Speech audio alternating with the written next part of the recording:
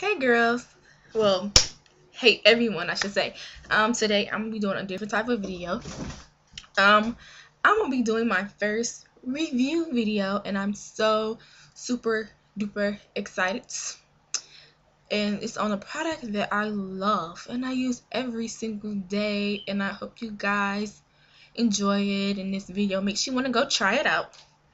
And the product I'm talking about is my e.l.f. Can you see? My e.l.f. Brightening Eye Quad in Butternut. And it looks like this. Now, I myself saw this in people's videos. I was watching, like, I actually searched stuff before I actually go buy it. And I was watching e.l.f. hauls and collections, and I saw it. I was like, oh my god, I have to get that one. And I already have, like, Nueva, Nueva Neutrals. The only, I only have two of them. But this one by far is my favorite. And I'm already getting a little dent in the two darker colors because I use them every single day. I use them in my how to floss tutorial bronze brown video that I just put up not too long ago. So if you want to see that video, I'll put in down bar. But I love these eyeshadows. I just love makeup. Like, I can't even explain it. And this quad is only a dollar.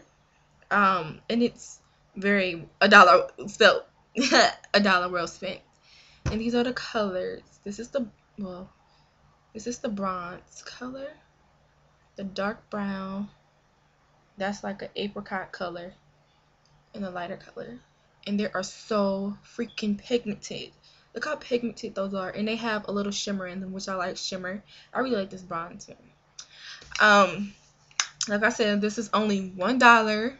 You can get these at Target, but I don't never find elf at Target. But you can either find it like off at Big Lots, um, Kmart, because I got this at Kmart. I was just browsing, and I'm oh, there go Elf, and I saw it, and I had to get it. So I get mine at Kmart. You know, maybe you can get lucky and get yours at Target, or you can just go to eyeslipsface.com and order it. It's only a dollar, and I will put that link in the down bar if you want to go check that out there.